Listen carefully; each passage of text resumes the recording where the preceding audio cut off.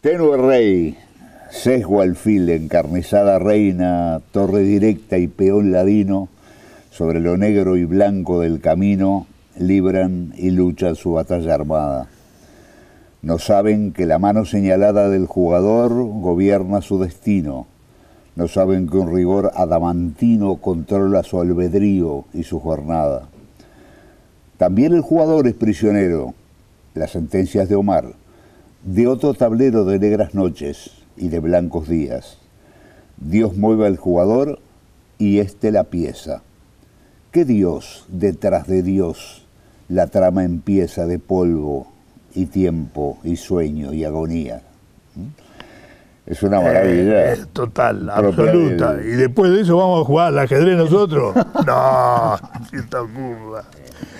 y hablando de, este, las sentencias de Omar, hay que tener en cuenta que Borges hace una referencia a Omar Hayam, el gran poeta persa, que tiene un poema, un rubayat, un poema cortito, eh, donde dice, ¿y qué es la vida después de todo sino un enorme tablero de ajedrez donde el destino juega con los hombres como si fueran piezas y después los coloca en una caja de madera?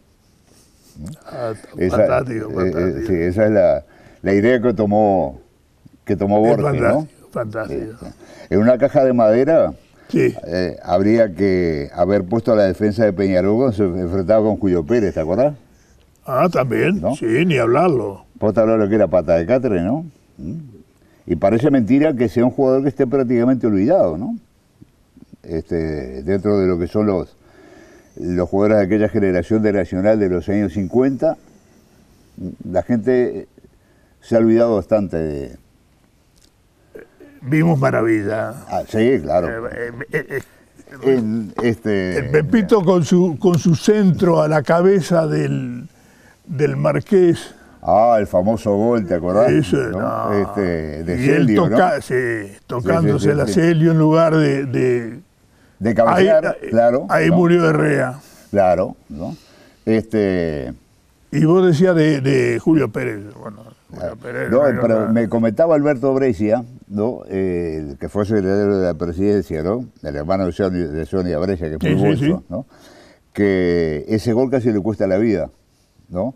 porque estaba sentado en la tribuna y fue tan grande la alegría y la emoción que tuvo con ese gol que se cayó para abajo. ¡Ah, diablo!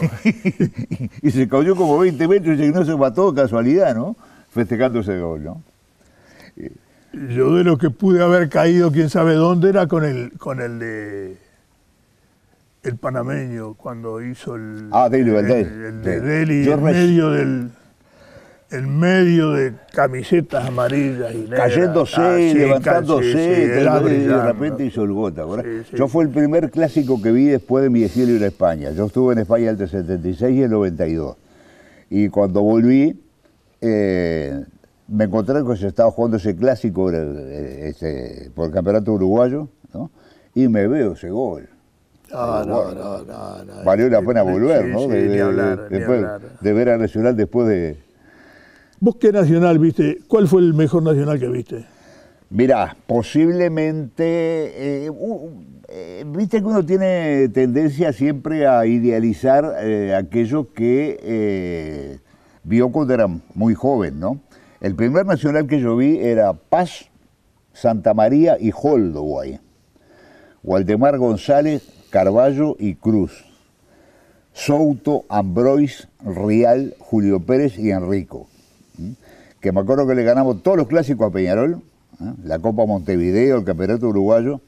Y, después también recuerdo con mucho cariño el Nacional de Artime, ¿no? el Nacional de Prieto, este, serio, eh, y Artimes jugando juntos, que decían que no podían jugar juntos, ¿te acordás? Porque dos nueve no podían jugar juntos y era un resultado, un resultado impresionante. Chamendi no quería ¿no? a Prieto. ¿Eh? ¿Ah, no? Por chileno, dice que los chilenos comen mucho pescado, pescado es agua, no le forma culo. y decía que lo tenía caído. Este. Cosa bien del pulpa, ¿no? ¿Eh?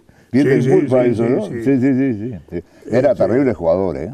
Extraordinario, ¿Eh? extraordinario. lo recuerdo siempre como jugador extraordinario. Hubo una reunión acá donde la gente de River quería llevarse a, a espárrago. Y el espárrago no lo largaba por nada. y quería meterles a, a Prieto.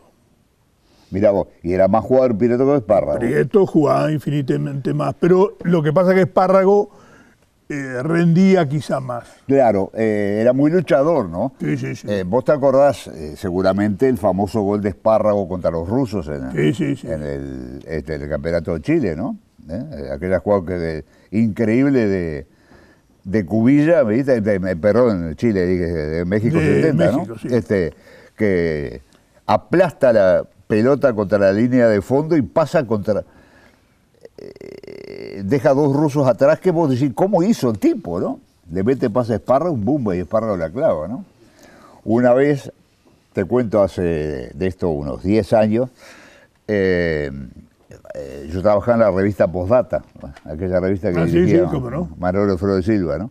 Y nos pidieron que hiciéramos una entrevista a Giafino. Y fuimos con, eh, este, con dos compañeros, los tres bolsos a entrevistar a los quefinos que vivían en una casa muy linda Carrasco, ¿no? Estaba arreglando el jardín y este, le dice, perdón muchacha que no les dé la mano, dice, porque tengo las manos sucias, ¿no? Eh, es un tipo muy bien educado, ¿no? Este, le digo, maestro, mire que acá los tres somos bolsos, ¿eh? Y me dice el viejo, y esto lo, te lo puedo jurar, ¿no? Yo sé que muchos se van a indignar de escuchar esto, pero es verdad. Ah, entonces somos cuatro, dijo. Yo le digo, maestro, usted me va a decir que usted que fue una gloria de Peñarol, ¿no? Era bolso desde que nací.